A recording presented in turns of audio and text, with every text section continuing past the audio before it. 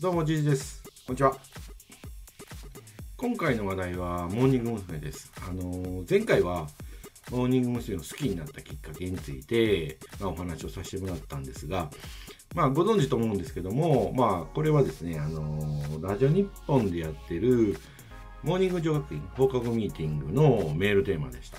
で、ですので、今回は、まあ、メンバーからメンバーへの落ち編理由をお話ししようと、まあ、内容を考えてたんですけども、まあ、サイト見に行ったらですね、まあ、すでにメールテーマから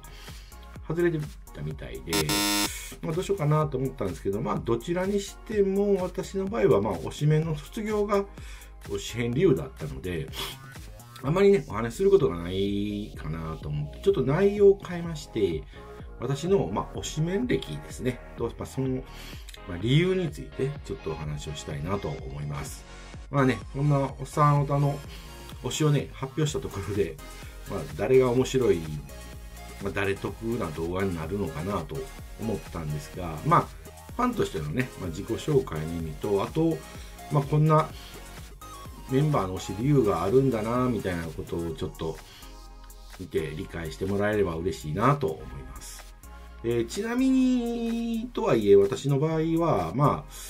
メンバーはね、全員好きですから、まあ、いわゆる DD なんですけども、まあ、推しといっても、まあ、そこまでの、まあ、あの、差というか、こだわりっていうのは特にはないんですが、まあ、とはいえですね、やはりあの、ライブとかね、イベントの時に推しがいた方がですね、まあ、より楽しめますし、あと、ペンライトやね、グッズの色も決めないといけないですから、そういう意味ではね、あの、推しは作るようにしています。はい。ああとですね、えー実はこの動画撮るのが3回目でして、1回目は、うーんと、熱がこもりすぎて、なんか60分以上撮っちゃったんですよね。で、やり直しで原稿をある程度書いて、撮ったんですけど、今度ちょっとスカスカすぎてちょっと納得できない動画になってしまったので、はい、3回目です。で、何が言いたいかというとですね、多分、うん、あの、私4人、今まで、えっ、と、2011年でファンになっているんですけども、まあ、今年で8年経つんですが、その間4名のメンバーを、まあ、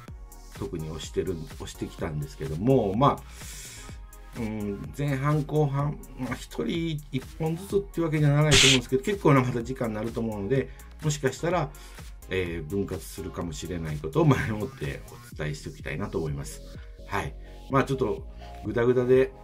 長い動画になるかもしれないんですけども、まあ最後までお付き合いしていただければなと思います。はい。というわけで前置きが長くなりましたが、えー私の推しの一人目は、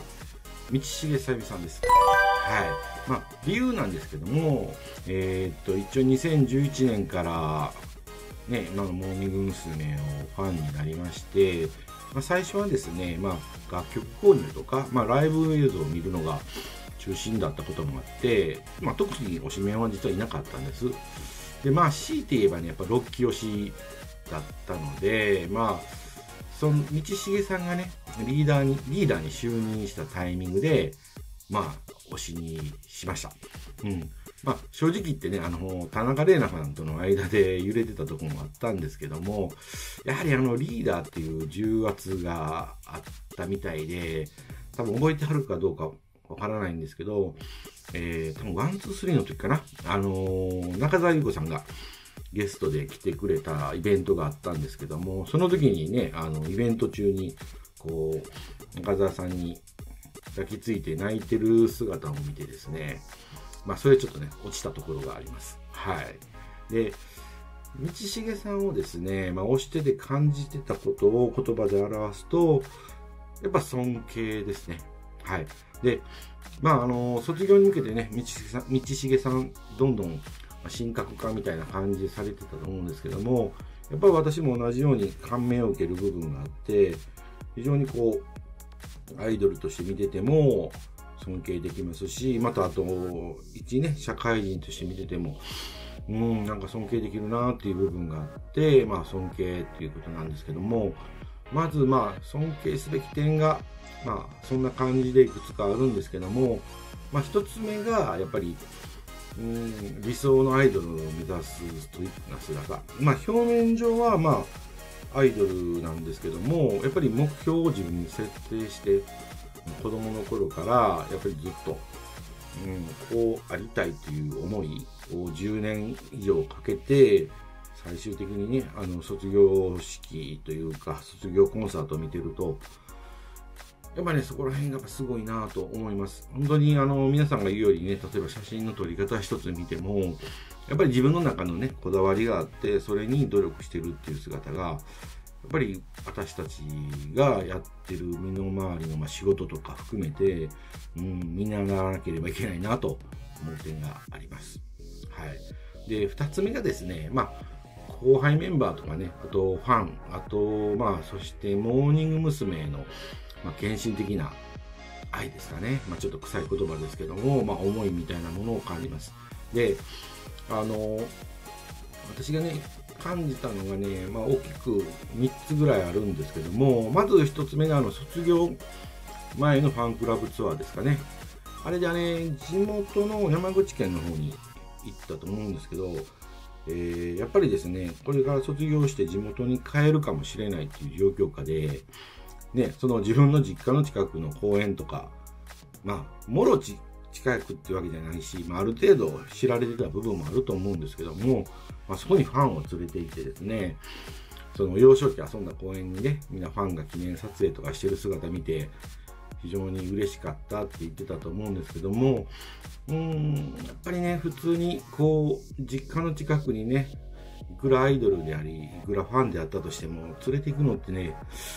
普通の人あんましないような気がするんですよね。で、そこにやっぱり彼女のファンへの思いと、あと、アイドル、芸能人としての覚悟みたいなもんですかね。まあ、そういうものをすごく私はま感じまして、すごいなっていう部分が1点と、あと2点目がですね、えー、私が、の、なんか経験したというか、目撃したことなんですけども、えー、個別握手会に行った時に、あのー、行った方ならわかると思うんですけども、まあ今持ち物検査があるんで、ちょっと当時とはちょっと違うんですけども、まあ基本パーティションで区切られて待ってる間見えないじゃないですか、握手してる姿っていうのは。ですけど、当時、道重さん1回目は、パーティションあったんですけど、2回目時にはそのパーティションをね、外してたんですよ、スタッフの人が。道重さんのレーンだけ。で、結局、それってやっぱ多分道重さんが指示したことだと思うんですけども、やっぱり待ってる人とかにもこう、なんて手振ってくれたりとかして、まあ、非常にね、ファン思いだなと思いました。まあ、逆にね、道重さんだからこそ言ったらスタッフがそのように動くっていう状況があって、まあ、他のメンバーもね、そういう思いはあったのだとは思うんですけども、まあ、そういう細かい部分でね、すごく感動した記憶があります。はい。えー、3つ目がですね、ちょっとパフォーマンスの話なんですけども、えー、西木さんの場合、どうしてもあの、音声加工気味な感じの、やっぱえー、パートが多くて、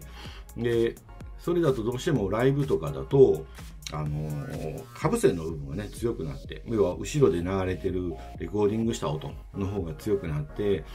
まあ歌ってはるんですけども、まあ生声の部分が聞こえにくいんですよね。で、卒業コンサートの時ですかね、まああの、最終日じゃなくてツアーで、まあ、大阪来られてた時に見に行ったんですけども、それがね、たまたま前5番目だったんですよね。で結構あんないい席はね、なかなかないんですけども、えー、前語で見た時に、あの、歩いてるですね、まあ覚えてるんですけど、歩いてるを歌ってたんですよね。で、その時に、まあ、道木さん本人も言ってますけど、やっぱ歌が得意じゃないと。で、なおかつ、まあ、かぶせもあるんですけど、その時見たのは、多分毎回そうだったと思うんですけど、やっぱ声をですね、こう、やっぱり大きく出して聞こえるんですよ、前だと。で、なんていうんですかね、表現が難しいんですけど、歌うというか届けるっていう姿勢がすごく見えて、